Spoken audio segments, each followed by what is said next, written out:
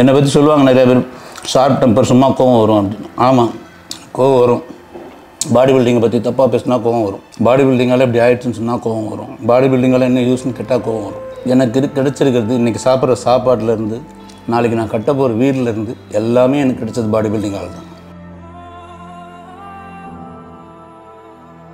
Body building பண்ணி வேலை கிடைக்கல அப்படின்னு வெக்ஸ் ஆகி போகிறவங்களோட பாடி பில்டிங்கில் வேலை கிடைக்கலன்னா என்ன? எனக்கு என்னால் முடிஞ்சு நான் சம்பாதிக்க முடியும்னு சம்பாரிச்சு பெரிய ஆள் ஆனவங்க நிறைய பேர் இருக்காங்க.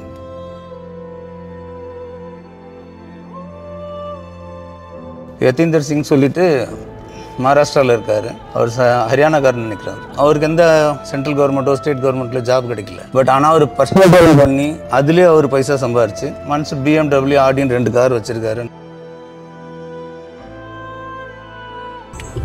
ஒரு காம்படிஷன் தோத்தாச்சா? அவ்வளோதான் எதுவுமே நான் செய்ய மாட்டேன். பாடி பில்டிங் ஸ்டேஜே ஏற மாட்டேன். இந்த பாடி பில்டிங்னாலே சீட்டிங் கேம் தான். அப்படின்னு சொல்லிட்டு சுற்றிட்டு இருந்தேன்னா நமக்கு ஒன்றும் ஆகாது. எந்த கேமில் ஸ்ட்ரீட் பண்ண சீட்டிங் பண்ணல சொல்லுங்கள் அதே மாதிரி சில பேர் வந்து ஜிம்மில் ஜாயின் பண்ணி ஒரு ரெண்டு வருஷம் மூணு வருஷம் தான் இருக்கும். சீனியரோட ஒர்க் அவுட்டில் குறை கண்டுபிடிப்பாங்க.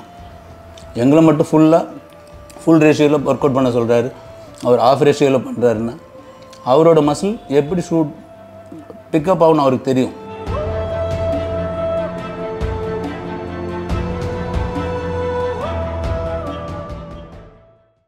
ப்ராக்டிஸ் முடிஞ்சிச்சு. கிளம்பு. ஜோ. பாய் பாருங்க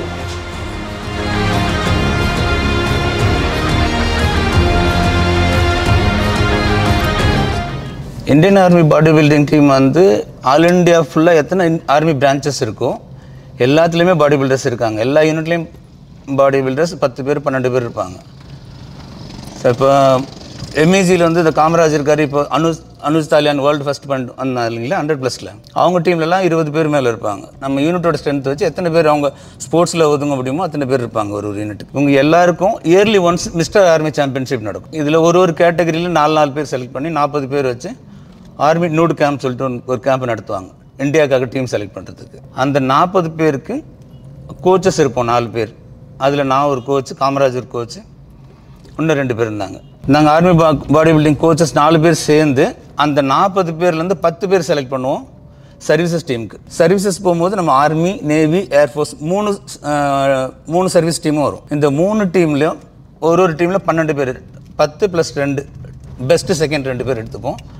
ஒரு டீமுக்கு பன்னெண்டு பேர் மெம்பர்ஷிப் பிளேயிங் மெம்பர்ஸ் அந்த பன்னெண்டு முப்பத்தாறு பிளேயர்லேருந்து மறுபடியும் பத்து பேர் தான் செலக்ட் பண்ணுவோம் இந்தியா. அந்த பத்து பேர் தான் இந்தியா பார்ட்டிசிபேட் பண்ண முடியும். அந்த பத்து பேர் இந்தியா பார்ட்டிசிபேட் பண்ணால் அவங்களுக்கு தான் ப்ரொமோஷன்லேருந்து எல்லாமே கிடைக்கும். இங்கே நிறைய பசங்க பேச ஆரம்பிச்சாங்க. இப்போ பாடி பில்டிங்கில் செலவு ஜாஸ்தி.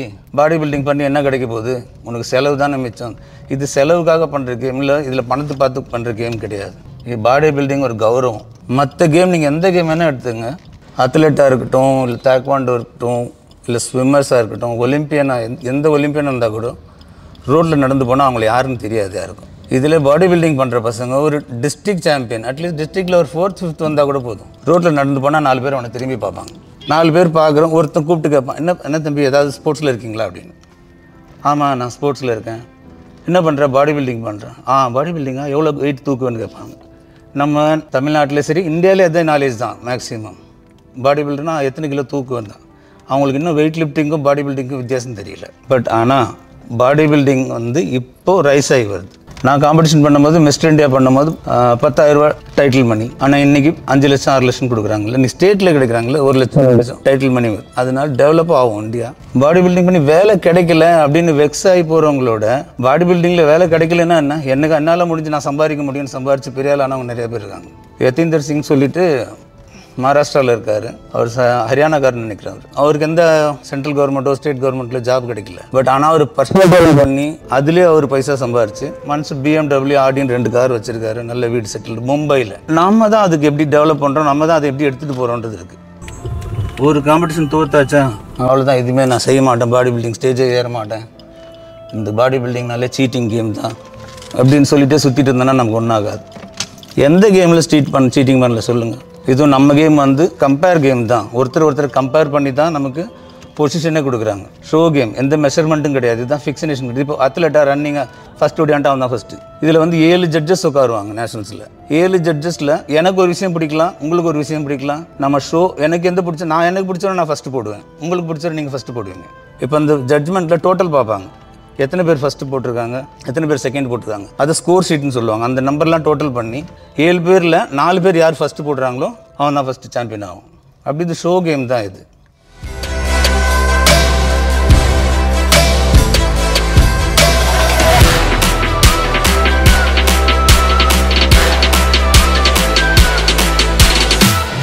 அங்கே நிற்கிற புல்லட்டும் நம்மளுக்கு தான் ரொம்ப நாளாக யூஸ் பண்ணாதனால அப்படியே ப்ராப்ளமாக இருக்குது ஸ்டார்ட் பண்ணால் ஸ்டார்ட் ஆகிடும் அதை ரெடி பண்ணணும் இப்போ. Ninety six model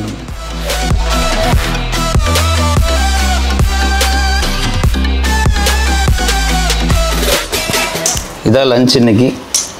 mutton biryani raita dieting கிடையாது. அதனால் நான் இப்படி சாப்பிட்றேன். என்னோட மெத்தட் என்னென்னா நல்லா சாப்பிடணும் நல்லா ப்ராக்டிஸ் பண்ணணும். நல்லா சாப்பிடணுன்னா கம்பல்சரி டயட்டில் ப்ரோட்டீன் இருக்கணும். அதுக்காக எப்பவும் பிரியாணி சாப்பிடாதீங்க. மதியம் கொஞ்சம் ரைஸு க்ரீன் வெஜிடபிள்ஸ் க்ரீன் வெஜிடபிள்ஸ்னால் அந்த பீன் க்ரீன் பீன்ஸு அவரைக்காய் கேபேஜ் இந்த மாதிரி ஒரு டூ ஃபிஃப்டி கிராம் பாயில் பண்ணி எடுத்துகிட்டு கான்டெஸ்ட்னால் பாயில் பண்ணி எடுத்துங்க. இல்லை ஆஃப் சீசன்னா வீட்டில் செய்ய சொல்கிற மாதிரி செஞ்சுட்டு டூ ஹண்ட்ரட் கிராம் ரைஸும் two fifty gram green vegetables எடுத்துங்க. ஒரு two fifty gram protein chicken பிரஸ்ட்டோ இல்லை ஃபிஷ்ஷுனா ஒரு முந்நூறு கிராம் நானூறு கிராம் ஃபிஷ் எடுத்துங்க. அது உங்களுக்கு லஞ்சுக்கு நல்லாயிருக்கும் சாப்பிடலாமா? மொத்தமாக ஒரு பிகினருக்கு எப்படி டயட் எடுக்கலாம்? மற்றபடி கான்டெஸ்ட் பண்ணுறவங்க எப்படி டயட் பண்ணலாம்? வெயிட் கெயின் பண்ணுறவங்க எப்படி டயட் பண்ணலான்னு சொல்லிட்டு நான் சொல்கிறேன் இந்த சாப்பாடை நினச்சிட்டு நீங்கள் டயட்டிங் நினச்சிடாதீங்க. ஓகேவா நான் கண்டினியூ இருபத்தஞ்சி வருஷமாக டயட் ஃபுட்டிலே தான் இருந்தேன். கல்யாணம் முடிஞ்சு கூட நான் மூணு வருஷம் பிரியாணி சாப்பிடல. அதுக்கப்புறம் இப்போ தான் சாப்பிட ஆரம்பிச்சிருக்கிறேன். ஒரு ஆறு மாதமாக பாடி பில்டிங் லைஃப்பை விட்டுட்டு ப்ராக்டிஸ் பண்ணுறேன் பட் சராசரி மனுஷனுமா எப்படி சாப்பிட்றானோ அந்த மாதிரி சாப்பிடுவாங்க பார்க்குறேன். இது ஒரு மாதமா ரெண்டு மாதமா திருப்பி நான் பழையபடி என்னோடய ஃபீல்டுக்கே வந்துடுவேன் அதே டயட் ஃபுட் தான் திரும்பி சாப்பிடுங்க இப்போ பாடி பில்டிங்கில் புதுசாக என்ட்ரி ஆன நியூ பிகினர்ஸ் வெயிட் கெயின் பண்ணணுன்னா நீங்கள் மேக்ஸிமம் ஃபஸ்ட்டு டயட்டு ப்ரோட்டீன் இருக்கணும் உங்கள் கம்பல்சரி காலையில் ஃபஸ்ட் டயட் எவ்வளோ சீக்கிரம் சாப்பிட முடியுமோ அவ்வளோ சீக்கிரம் ஃபஸ்ட் டயட் எடுத்துங்க ஆறு மணிக்குள்ளே உங்கள் டயட் ஃபஸ்ட்டு டயட் ஸ்டார்ட் ஆகிடணும் குறைஞ்சபட்சம் ஒரு அஞ்சு எக் ஒயிட்டு இல்லையா நான் வெஜிடேரியன் அப்படின்னு சொன்னீங்கன்னா ஒரு இருபத்தஞ்சி கிராம் வேர்க்கடலை நிலக்கடலைன்னு சொல்லுவாங்க சில பேர் வேர்க்கடலை. இருபத்தஞ்சி கிராம் கொண்டக்கடலை அதான் மூக்கடலைன்னு சொல்லுவாங்க இல்லையா. இருபத்தஞ்சி கிராம் சோயாபீன் இருபத்தஞ்சி கிராம் பச்சை இது நாளும் நைட்டு ஊற வச்சுட்டு காலையில் அதை பாயில் பண்ணிவிட்டு அது கூட ஒரு பழம். பச்சை பழம் தான் சாப்பிடணும் இல்லை? பனானா ஏதாவது ஒன்று அது ஒரு நூறு கிராம்லேருந்து நூற்றம்பது கிராம் இருக்கிற மாதிரி பார்த்துங்க. சிறு பழம்னா ரெண்டு எடுத்துங்க. மற்ற பழம்னா ஒரு பழம் எடுத்தால் போதும். இந்த டயட் முடிச்சுட்டு ப்ராக்டிஸ் பண்ணுங்கள் ப்ராக்டிஸ்க்கு அப்புறமும் சேம் டயட் இதே அளவுக்கு. அதுக்கப்புறம் ஆஃப்டர் டயட் கம்பல்சரி ப்ராக்டிஸ்க்கு அப்புறமா ஃபிஃப்டீன் மினிட்ஸ்க்குள்ளே ப்ரோட்டீன் ட்ரிங்க் ஒன்று கம்பல்சரி எடுங்க. ஏன்னா இன்ஸ்டண்ட்டாக உடம்புக்கு ப்ரோட்டீன் தேவை. நீங்கள் சிக்கனோ மட்டனோ சாப்பிட்டு எக்கில் சாப்பிட்டு கிடைக்கிற ப்ரோட்டீன் வந்து டைஜஸ்ட் ஆகி அது அமினாசிடாக கன்வெர்ட் ஆகி உடம்புக்கு மசில் போய் சேர்றதுக்கு டைம் எடுக்கும். அதுக்கு நீங்கள் சப்ளிமெண்ட் பேஸ் எடுத்திங்கன்னா சப்ளிமெண்ட் த்ரூ எடுத்திங்கன்னா உடனே மசில் ரெக்கவரி ஆகிடும் எக்ஸாம்பிளுக்கு நீங்கள் இங்கேருந்து இந்த ஸ்ப்ரவுட்ஸ் டயட் எடுத்துகிட்டு ப்ராக்டிஸ் போகிறீங்க ப்ராக்டிஸ் முடித்த உடனே வே ப்ரோட்டீன் ஒரு ஸ்கூப் எடுத்துங்க. அது உங்களை அங்கேருந்து ரெக்கவரி பண்ணிடும். வீட்டுக்கு வந்த உடனே சேம் இந்த ஸ்ப்ரவுட்ஸ் டயட் எடுக்கணும்னு எடுக்கலாம் இல்லை சிக்ஸ் எக் ஒரு ரெண்டு பழம் இந்த மாதிரி சேர்த்து எடுத்துங்க மதியம் லஞ்சில் வெயிட் கெயின் பண்ணுறவங்க டூ ஃபிஃப்டி கிராம் சிக்கன் இல்லை ஃபிஷ்னால் ஒரு த்ரீ ஹண்ட்ரட் கிராம் ரைஸ் ஒரு two hundred gram rice two hundred gram vegetables any vegetables boil பண்ணி தான் சாப்பிட்ணுன்னு இல்லை. உங்களுக்கு எப்படி சாப்பிட தோணுதோ அந்த மாதிரி பண்ணி சாப்பிடுங்க. பொரியல் மாதிரி சாப்பிட்லாம். பட் ஆயில் கம்மியாக பார்த்து யூஸ் பண்ணிக்கோங்க. ஆயிலில் நம்ம இந்தியன் ப்ரிப்பேர் பண்ணுற மாதிரி நல்லெண்ணெய் எடுத்துங்க பரவாயில்ல ஆலிவ் ஆயில் தான் சாப்பிட்ணுன்னு இல்லை. அதுக்கப்புறம் ஈவினிங் சேம் அதே மாதிரி. ஈவினிங் ப்ராக்டிஸ் பண்ணணும்னு அவசியம் இல்லை. ஒரு ஃபைவ் எக் ஒயிட் எடுத்துங்க. ரெண்டு மணி நேரம் ரெண்டு மணி நேரம் கேப்பில் உங்களோட மீல் இருக்க மாதிரி ப்ரிப்பேர் பண்ணிக்கோங்க. எல்லா மீலுமே ப்ரோட்டீன் ஃபைபர் கார்போஹைட்ரேட் இருக்கிற மாதிரி பார்த்துக்கோங்க. இல்லை ப்ரோட்டீன் ப்ரோட்டீன் ப்ரோட்டீன் எல் அதிகமாக ப்ரோட்டீன் எடுத்தால் மசில் டெவலப் ஆகிடும்னு வச்சிங்கன்னா ஓவர் ப்ரோட்டீனும் ஃபேட்டாக கன்வெர்ட் ஆகிடும் அது கவனம் வச்சு வச்சுக்கோங்க. நம்ம இந்தியன்ஸோட ஃபுட்டில் மேக்ஸிமம் நார்த் இந்தியாவிலும் சரி சவுத் இந்தியாவிலும் சரி எங்கே பார்த்தாலும் நம்மளோட டயட் கார்போ பேஸ்ட் டயட் தான். கம்பல்சரி ப்ரோட்டீன் கொடுத்தா தான் உங்கள் மசில் டெவலப் ஆகும். வெஜிடேரியன்ஸாக இருந்தால் வெஜிடேரியன்ஸாக இருந்தீங்கன்னா நீங்கள் சோயா மீல் சோயா பீன்ஸில் மீல் மே மீல் மேக்கர் இருக்குது அது ஹை சோர்ஸ் ப்ரோட்டீன் உங்களுக்காக. மற்றபடி நான் வெஜிடேரியனுக்கு நீங்கள் சிக்கன் பேஸ் எடுத்துங்க சிக்கனில் மேக்ஸிமம் ப்ரோட்டீன் உங்களுக்கு அப்சர்வேஷன் கிடைக்கும். குறைஞ்சபட்சம் ஒரு இரநூறு கிராம் வந்து இரநூத்தம்பது கிராமாவது எடுத்து ட்ரை பண்ணுங்கள் நாளைக்கு. வெயிட் கெயின் பண்ணுறவங்க ஃபோர் எக்ஸ் எடுத்திங்கன்னா அதில் ஒன்று மஞ்சள் கருவோடு சேர்த்துடுங்க. வெயிட் வெயிட் லாஸ் பண்ணுறவங்க பாடி வெயிட் மஸ் கான்டெஸ்ட் பண்ணுறவங்க சுத்தமாக கொலஸ்ட்ரால் ஐட்டம் எடுக்காதீங்க. மஞ்சள் கரு எடுக்கணும் அவசியம் இல்லை. கான்டெஸ்ட் ப்ரிப்பேர் பண்ண கான்டெஸ்ட் ப்ரிப்பேர் பண்ணுறவங்களுக்கு